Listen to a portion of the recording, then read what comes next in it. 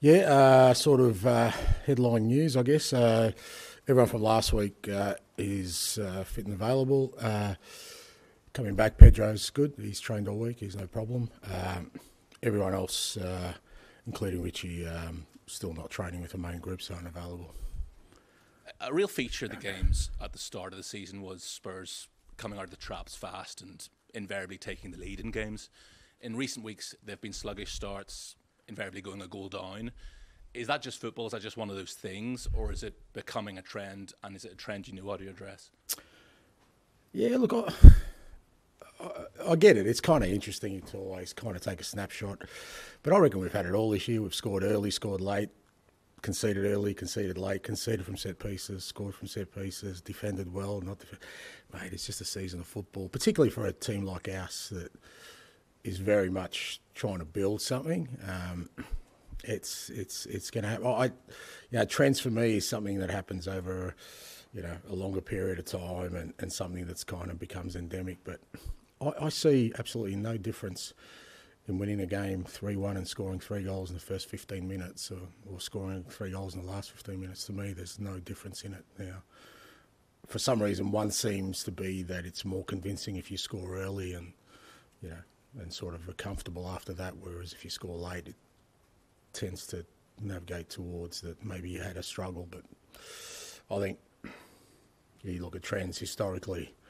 I think from the first year I managed, all my teams score late goals. It's part of kind of the game model. So, if anything, I think that's tilting towards more of kind of the team we want to be. Um, just one other one from me you may or may not be aware of this, but you know what fans are like. A lot of the fans in the build up to this one have been talking about the fact that Matty Cash put in a tackle on Bentancur in the last game, which caused him to go off with an injury and quote unquote revenge for that. Do you have any job in your hands to just keep players calm, that they're not coming out there all fired up?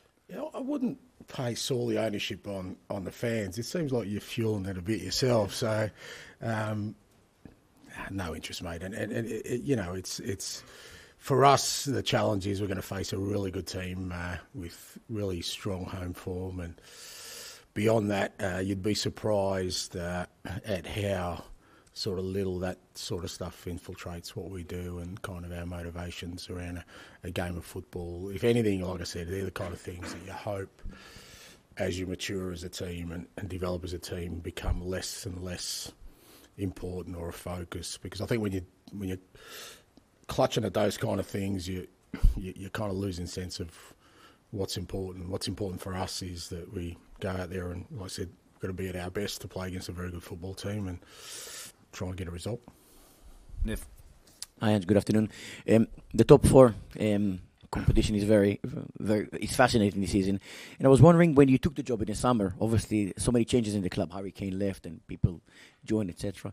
Um, did you imagine the team will be involved in the top four? Um, um, look, I, I think I've said all along I didn't have any specific targets. I, I, I, it was one of those because I think if if you kind of say our, our target was okay, we want to finish, as you say, in the top four. Yeah, we're there or thereabouts at the moment. Um, that might mean that the players or even the club gets a comfortable, and I, I just don't want to. I don't want us to ever be in that sort of position. Um, my belief was that we would be very competitive this year, and I thought, you know, we would we would definitely improve on last year and, and, and see where that takes us. But um, I, I think for the most part, we've handled everything that's happened this year, and kind of like I said, the first year of a trying to build something. I think we've handled it for the most part pretty well. Um, I think we've been competitive in just about every game we've played this year, which is, as a manager, that's kind of what you're looking for. You know, I've said before, performances, results have fluctuated, but not our competitiveness. I, think even the games we've lost, we've been in. Um, and even the wins that maybe we haven't been con- convincing in, we, have still been very, very competitive, and it's a good place to start. I want to ask you about uh, Timo Werner, please. Scored the against uh, Palace, his first goal for the club. Um, he looks more confident, more confident, more comfortable as well. How how satisfied are you with what he brings you to the team? Yeah, look, I think he's been really important. If, if you know, you can only imagine if, if we didn't bring him in in January, um, there would have been a, a, a, much bigger burden on the other players in the group. Um, particularly when when Sonny was away as well. And you know, we've kind of we threw him in straight away, and you know, when you come in in January, especially for somebody at Timo's uh, sort of standing, he's a mature player. He's not sort of a young player we've brought in to develop. Um, we're bringing him in to make an impact, and I think he has made an impact for us. But I, I do think there's more to come from him for sure, and you know, he's working hard at training. I think his performances are improving. I thought last week was his, probably his best performance, aside from the goal. I thought it was his best performance for us. So that's great for us. And, um, you know, I think it's it's also helped guys like, you know, uh, Brennan Johnson and, and and, and, and, others. You know, like I said, the burden would have been, you know, pretty big on those guys hadn't if we hadn't brought Timo in. Aston Villa this weekend, um, Villa Park uh, is a fortress, it's a difficult place to go to. Um, how how impressive have you been with them this season? Yeah, very. Um, even last year, I think from when Unai came in, and look, he's he's got a track record of building really strong teams, and um, you can see that they've got a clear identity that they, they understand what they you know what they need to do on a weekly basis. The players they've brought in really suit the way the manager wants to play, and um, yeah, they've been hugely impressive. As you said, their home form, but just in general, again, another team that for the most part is competitive every game, so you know it's going to be a tough one. But great for us, looking forward to it. It's a big game, as you said, um, particularly away from home, and um, good test of us. You know, like I said, I thought I thought we were good last week. Really pleased with our performance in general last week, and um, hopefully we can build on that. Yeah. Hi, and how are you? I'm good, thanks, bud. Um, last week you were talking about the fact that you'd liked more games this season because for momentum and, and seeing the, the, pluses and what have you for your squad. This week you're going to a massive game. You've had a whole week to prepare. Villa have had a trip to Amsterdam. Does that make it an advantage for you or not? No, I, I, I, look. I, don't know how many. Maybe I, have got to do it in Greek or another language. I'd love to be in Europe. I think I've said it already. I would love to have had a game yesterday and the day before. I would love it. I would. It would thrill me to the deepest part of my soul. My heart would be bursting. I would be that ecstatic. If that doesn't make it clear that I would prefer to have games rather than not, I'm not sure what will. I just thought about in terms. Of... You're coming back again, aren't you? No, no. Yeah, you're not. You're not convinced. Don't worry about it. Maybe do the Greek. No, yeah, you're right. I'll move on, shall I? Okay. Um, everyone's been impressed with Ollie Watkins' form this year. When you take on a team like Villa, how much more attention do you give to someone like that, or do you just give the normal attention to the, the, the team you're playing? No, look, I, I think you know, for all teams, you kind of respect their strengths and weaknesses, both from individuals. But I, I think when you look at Villa, it's more about the collective. But Ollie Watkins has been outstanding, and not just this year. I think, you know, you look at his career, his durability to just play game after game and still maintain a high level of performance and improvement in performance. Uh, credit to him, obviously, the coaches he's worked with, but. Um, you know, when the way he leads that line is, is outstanding. But for us, it can't be just the focus because, as I said, I think to to challenge and, and, and sort of overcome a team like Villa, you, you really got to look at the collective because they're very well organised defensively. Um, you know, they've got a real kind of some key players when they do get the ball. Um, John McGinn's outstanding. Um, you know, all these um, kind of players who you know that if you just focus, say, on you know stopping Ollie on any given day, there's so many others that can hurt you. So um, yeah, our focus will be on. Like I said, for us, it's still about us. It's about our performance. If we play well, as I said, I, I can't remember a game where we haven't been competitive, and we're going to have to be competitive again on, on the weekend, and then hopefully we show the quality we need. And finally, you're a man of the people. You're a fans' favourite, fans' champion. This week, the fans not massively happy with the increase in season ticket prices and some of the concessions will be leaving. Can I just get your, your view on, on that? Because, I mean, this time everyone's struggling, you know, coming to football is probably their, their one big thing for the week. Yeah, again, I think I've been consistent in saying around all these kind of um, subjects and topics. I, I don't think it's my place to to kind of try and um, you know uh, articulate a, a, position because other people are in, in, charge of these areas. I've said a million times that I'm the spokesman for, for the football aspect of this club, and I'd hate it if somebody came out here one day and tried to explain my tactics or my, um, you know, my team selections, and, and I'm not going to do the same. And I've also been consistent in saying that, you know, supporters uh, are the lifeblood of any football club, and I'm not going to be you know, try and dictate how they feel. Um, they have a voice, they have a strong voice, they have avenues to, to express their opinions, and I will always um, abide by that and, and, and accept that, um, even if sometimes, you know, and as a manager, I've, I've, certainly had it when when it's against you. You've got to respect the fact that they have a, a very strong voice and they're allowed to express that. Jack. Hi, Ange. Um, Br- uh, Brennan Johnson's obviously been really good in the last few weeks, even though he hasn't necessarily been starting. At what point does he give you a difficult decision about putting him back in the 11?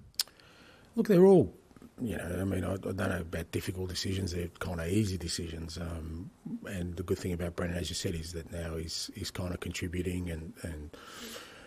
You know, it's important. It's been important for us in recent games, but it will be important for us moving forward. But that doesn't mean that that's him consigned to that, um, you know, that position. But uh, you know, I think overall, I think his year has, you know, we've seen growth in him. Um, he's understanding better the, the, the demands of the position, which is a bit different to probably what he was used to, and you can see him growing all the time. And you know, he's only he's still a very very young man for us in terms of you know, particularly in that striker position, and we see a lot of growth in him. And you know, like everyone else, uh, I said last week, they're all there. Um, in front of me every day with the opportunity to, to present themselves to play, and whether that's to start or not to start, uh, what I'm looking for is an impact, and uh, Brennan's been making that.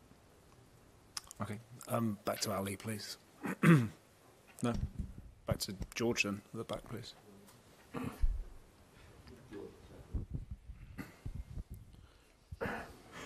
Hi, Ange. Um, Villa Park can obviously be a um, you know hostile atmosphere, and and I guess you know, maybe not for the team, but fans feel like there's a bit of needle because of that sort of Matty Cash tackle.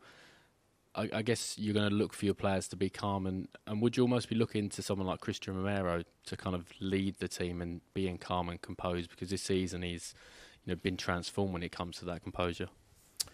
Yeah, I definitely wouldn't put it down to an individual player. It's us as a group, but you know, to be fair, I think I think we've kind of displayed that already this year. You know, we've played some pretty tough away venues already, and, and I think we've coped with what's been thrown at us. Even like I said, the, the games we didn't win, we were we were right in them. So um, yeah, there's no reason why we have to do anything different on, on Sunday that we've been doing all year. Um, I think rather than those kind of things, more important for us is like I said, a real focus on on you know playing our football, continuing to to try and impose ourselves on, on the opposition, and yeah, I think that's going to be more important than the kind of the the other stuff around it. Because like I said, you know, we've, we've been to already some very difficult venues, um, you know, with some you know pretty passionate um, atmospheres, and I think we've coped with it well. And yeah, just with Romero, I mean, as I say, he's sort of kept the yellow cards to a minimum, and he's also chipped in with a lot of goals for now. How impressed have you been with his overall aspect of play this year? Oh, look, he's he's, he's outstanding, but I thought he was from day one. Um, he's a World Cup winner. Um, you don't win World Cups as a starter, not just you know part of a squad, a real contributor. Um, great pedigree, great defender, uh, great guy, very driven, very motivated, highly, highly competitive at everything he does. I love that. There's nothing else you'd want in a in a in an athlete, and a, and a great example for for the rest of the guys. And just finally from me, um, back to the season tickets. I mean, obviously, the best chance a club has of success is when everyone is sort of united and pulling in the same direction. Would you kind of worry that with the fans being unhappy with this season ticket increase and the concessions changing, that that could jeopardise the fact that everyone is united and, and not all together pulling in the same direction? Yeah, but but again, that would be me trying to dictate people how they should feel. I'm not going to do that. You know, how they feel is how they feel. If if they're not happy with something, they've got every right to express that. Uh, my role within that, like I said, is hopefully produce a team that, you know, um, that they gives them hope and, and, belief, and that's where my role begins and ends. I'm, I'm never, you know, I, I know how much football fans are invested in their clubs, and I'm not going to sit here and tell them that you know what. Uh, put aside your feelings, or you know, if you feel something strongly about something, just for the good of the team. No, well, if you feel strongly about something, you feel strongly about something, and they're allowed to do that. Um, my role, like I said, is hopefully to produce a football team that they um, gives them hope and belief, and, and you know, gives them something to, to smile about at the end of the week. And can we finish with James, please? Hi, Ange. Um, there's a possibility that fifth place might be good enough for Champions League. Can do you allow yourself to think like that, or can you only focus on top four? Um, well, there's 12 games to go. Um, you know, if I, I'll, I'll, I'll, look, I'll, I'll shoot for eighth. Let's see how we go, you know, and I'll feel really happy about myself. I, I just, I, I don't see the sense in, in trying to aim for something other than number one. What's the point? I don't see the point, you know. It's more to think that it's an insurance policy potentially. For what? Well, Like- if you can't get in the top four. Okay, so there were a couple of teams that got into the championship leagues this year from last year that had a good season. Does that guarantee anything the following season? No. So that's I've said all along. I'm in no desperation to get something just for comfort or insurance. I'm here to create a team that wins things. And for me, it doesn't. It defies logic. I'm just not built that way to build to, to aim for anything other than the top. Now, it doesn't mean you're always going to get there, but I'm not going to settle for anything other than that. If I fall short, well, that's on me. Okay, but I'm not going to sit here and try and you know uh, create a a scenario where we're happy with anything other than being the best. Just the way I think. And well, given that aim, how important then is Champions League qualification to help you develop the squad to then go and try and win the league? it's it's no more important than it's not actually. What's more important is that come the end of this year, we've got a team that's going to challenge the following year and keep growing. And we're only going to do that if right now the most important thing is us, our identity, and our football. Because just getting into, I mean, mate, it's not a it's not a Willy Wonka golden ticket. You know, it just gets you a, year in Champions League. But if you don't build on that, if you don't grow from that, it's meaningless. I think anyway, because uh, we're not in a we're not in it for participation. We're in it to win things. So, yes, Champions League will show that you know what. If we make Champions League this year, it means we've progressed from last year. Yes, but has our football progressed? Are we a better team? Are we a stronger team? Are we going to improve in the summer to make sure that next year we're going to be even better? That's much more important to me. And so my target this year has always been to create a team that I hope will lay strong foundations for moving forward, being a team that can win things. That's that's where it begins and ends. Um, logically, as you say, if, if if we've improved and we make Champions Leagues, it means we've we've, we've had a decent year. But that isn't going to give me any comfort if we're not playing, you know, football that I want us to play, and we don't improve in the off season to make sure we're ready for the next step. I think the general perception would be if you're not in the Champions League, it's just harder to develop in the way that you're describing. But from what you're saying, you don't agree with that. No, no, I don't. No, I think your development is your development. What's you've you've if you keep getting stronger as a team, those kind of things don't even come into the equation. You should be there all the time. But if that's your goal, and thinking that that is some, you know, uh, like I said, golden ticket to some endless riches, it's not the case. And there's plenty of evidence, even this year, that you can see that that's not the case. Thank you.